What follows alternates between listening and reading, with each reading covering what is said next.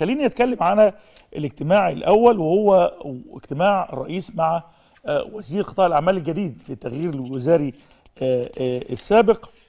حل السيد مهندس محمود مصطفى وزيرا لقطاع الأعمال العام. والرئيس النهارده اتكلم على ضرورة الاستفادة من أصول وثروات مصر الموجودة في قطاع الأعمال العام. قطاع الأعمال العام في حوالي سبع شركات قبضة ضخمة عملاقة. لكن معظمها كانت شركات مترهلة خضعت لعمليات تجميل عمليات إعادة تأهيل عمليات زرع مفاصل عمليات زرع قلب. هل نجحت بالشكل الكامل؟ نجحت بالشكل الجزئي. هي تحت عملية الإصلاح. وتابعنا وزير قطاع الأعمال السابق هشام توفيق واللي قبليه واللي قبليه واللي قبليه الحقيقة من أيام مختار خطاب وإحنا شغالين أو عاطف عبيد وإحنا شغالين قطاع الأعمال الحائر بين الوزارات المعنية المختصة يعني مثلا شركة شركات الأدوية. الطبيعي كانت تبع وزارة الصحة زمان شركات السياحة تبع وزارة السياحة شركات النقل تبع وزارة النقل. كل شركات الصناعات الغذائية تبع وزارة التموين. لكن بعد فكرة الخصخصة أيام الله يرحمه عاطف عبيد عملوا جمعوا كل الشركات وحطوها في كيان واحد ووزارة قطاع الأعمال للإدارة الاقتصادية الإدارة الحكيمة وتأهيل بعض الشركات الخصخصه وتطوير الشركات إلى آخره. في النهاية كلمة قطاع الأعمال العام أو شركات قطاع الأعمال العام لها مدلول في وصورة ذهنية عند الناس كان محتاج إنه يتطور بس مش هيتطور بالكلام يتطور بالفعل. بالفعل.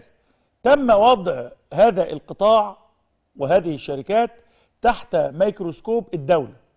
وتحديدا السيد الرئيس بنفسه بيتابع كل كبيرة وصغيرة في هذا القطاع. شركات في شركات رابحة ناجحة بتحقق أرباح يعني مقبولة إلى حد كبير. في شركات يعني بتحاول تقوم تقف على حيلها وفي شركات واقعة. خلاص في شركات لابسة في الحيط. شركات بتكلف الدولة تكاليف مهولة بمليارات. لكن المشكلة الأساسية اللي تبقى عقبه أمام الإصلاح الكامل هو العمالة.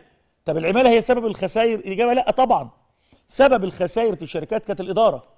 الإدارة الفاشلة أو الإدارة الفاسدة هي التي أودت بهذا القطاع اللي كان في يوم من الأيام هو ظهر وسند الدولة المصرية صناعيا.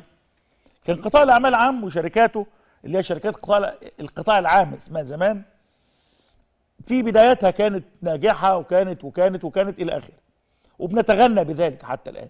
لكن أما وإنه دخل إدارة فاشلة وفاسدة ضيعت الشركات فأصبحت الشركات عبء وحمل فوق كاهل الدولة والموازنة العامة للدولة والحكومة وبنتندر جميعا على الأسلوب الإداري أو أسلوب الإدارة اللي لا يحقق أرباح كافية.